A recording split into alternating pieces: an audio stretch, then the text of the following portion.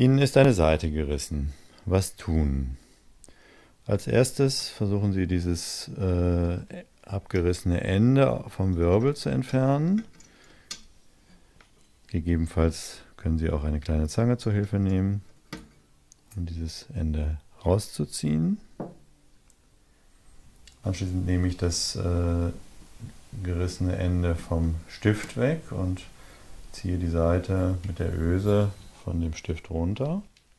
Bevor ich jetzt eine neue Seite aufziehe, muss ich erstmal den Stimmwirbel in seine richtige Ausgangsposition platzieren. Jetzt im Moment sind die Wirbel optisch alle einigermaßen auf einer Höhe und äh, ich muss den Wirbel links herum ins Holz reindrehen, weil er beim Aufziehen der Seite wieder rauswandert. Das mache ich ungefähr zwei, drei Umdrehungen, bis ich zwischen der Bohrung im Stimmwirbel und dem Holz einen Abstand von etwa 5 mm habe. Das ist etwas, was wohlgemerkt gilt für alle Wirbel mit Linksgewinde. Äh, so sind unsere Instrumente aus der Klangwerkstatt ausgerüstet. Es gibt auch Instrumente, die mit Rechtsgewinde ausgestattet sind. Da ist die Sache ein bisschen anders.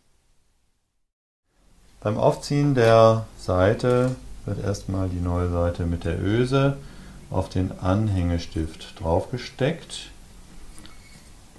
Und da ist es jetzt ganz gut, wenn Ihnen jemand hilft und den Daumen drauf hält oder wenn Sie ein anderes Werkzeug haben, zum Beispiel ein solches Klemmerchen, wie wir es verwenden in der Klangwerkstatt, um die Öse zu fixieren, damit sie nicht wieder abrutschen kann. Die Seite, die ich aufziehen will, liegt jetzt neben dem Stimmwirbel. Und als erstes prüfe ich mit einem Messwerkzeug, ob der Überstand der Seite über den Wirbel ungefähr im Bereich von 6 bis 7 cm liegt. Das ist jetzt hier gut so.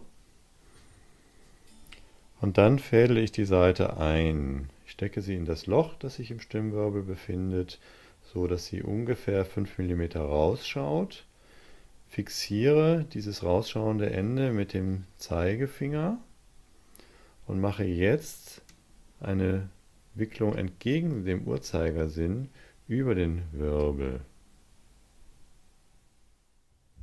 Mit der linken Hand halte ich die Seite auf Spannung, indem der Zeigefinger äh, die Seite am Wirbel runterdrückt auf das Sattelholz und gleichzeitig äh, der Mittelfinger oder der Ringfinger oder auch der kleine Finger äh, dafür sorgen, dass die Seite schön straff bleibt. Und jetzt nehme ich den Stimmschlüssel, stecke ihn auf den Wirbel und mache eine halbe Umdrehung rechts herum. So weit, bis dieses herausschauende Ende in Richtung Seitenverlauf zeigt.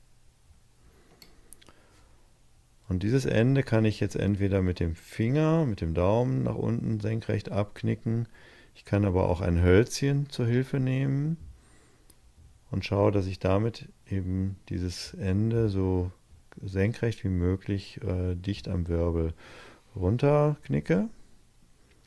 Stecke den Stimmschlüssel wieder auf den Wirbel und drehe jetzt rechts rum weiter und versuche dieses abgeknickte Ende einzufangen mit der Seite. Und sollte mir das nicht gelingen beim ersten Anlauf, dann habe ich bei der nächsten Runde wieder die Möglichkeit. Aber hier hat es schon ganz gut geklappt. Und jetzt drehe ich einfach rechts rum weiter, schaue, dass die Seite immer schön dicht unten am Sattel anliegt und am Ende, bevor sie richtig auf Spannung kommt, ihren Platz findet in der Kerbe, die ja schon zuvor entstanden ist durch die alte Seite die mir gerissen war. Und wenn ich jetzt Spannung habe, ist Vorsicht geboten. Vorsicht, dass mir die Seite nicht wieder reißt. Äh,